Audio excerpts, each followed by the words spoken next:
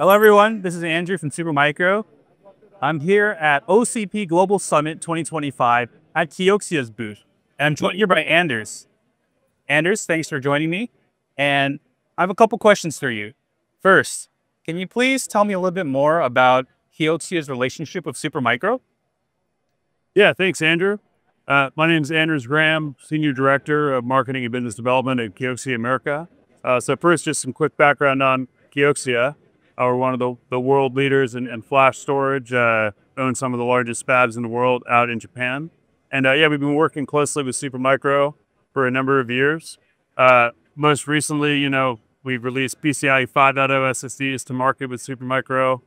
Our CD8P and CN7 drives are very popular, and we've really been focusing on new form factors uh, such as E1.S and also E3.S. And we've actually seen a lot of traction uh, over the last year with our E3.S products, which are built really specifically for flash as opposed to two and a half inch drives, which more built for disk. Uh, with I think 15 terabyte, 12 terabyte really being a sweet spot, for example, for you know AI inference workloads. So uh, if you want to look online, you can check out our microsite with Supermicro. Just Google Supermicro Kioxia. You'll see a list of the different SSDs that, that we have that are available together in the in the Supermicro solutions. Great. Thanks, Anders. Um, next question for you. Um, can you tell me a little bit more about how Supermicro and Kioxia are bringing new server and storage solutions to the OCP ecosystem? As far as things that we're introducing uh, to the market, to the, the OCP ecosystem of Supermicro, let me just walk you through a few things in the boot.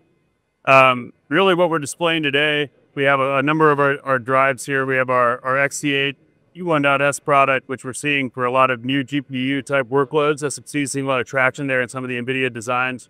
Um, and I also want to talk about our, our next generation BiCS8 flash products. We recently announced our, our BiCS8 SSDs, uh, and they have a, a, very significant improvement in both capacity and also our performance profile. Uh, the underlying technology is moving to something called CBA technology, which is CMOS bonded directly to array and that enables a couple things. Uh, one of the things that it enables is higher performance at lower power. So this demo here is our CD9P SSD, which uh, is just now getting into qualification with Supermicro.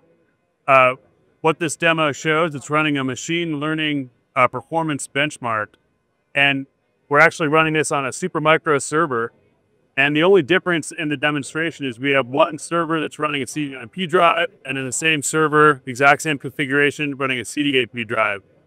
As we're moving to our BiCS8 flash, it's actually similar controller architecture that main change is moving to the BiCS 8. Uh, you're running this machine learning performance benchmark. You can actually have five GPUs access a CD9P drive, whereas only four GPUs are accessing a CD8P, and you're still above the 90% utilization metric that's required for the benchmark. So basically everything else is the same. We move to the new flash technology, which is more higher performance and lower power. And you can get 25% better uh, GPU utilization at a higher sustained performance and a, lower power. So this is uh, the second demo that I wanted to show. This is showing our LC9 product, uh, high capacity QLC storage for fast retrieval of large data sets. So our BiCS8 flash also enables a, a two terabit QLC die stack with this innovative CBA technology. And if you take uh, 32 terabit dies stacked into one package, it would be eight terabyte package. 32 of those packages on a PCB, you end up with a 245 terabyte drive. So that's what we're announcing here, the 245 terabyte LC9.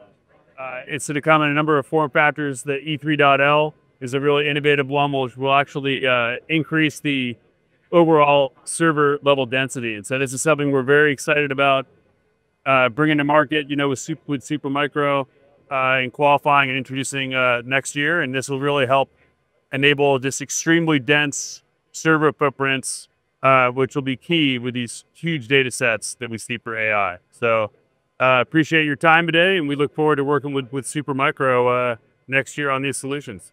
All right, thanks, Anders. Um, if you want to learn more about Supermicro and Kioxia, please visit supermicro.com. All right, thank you. Thanks.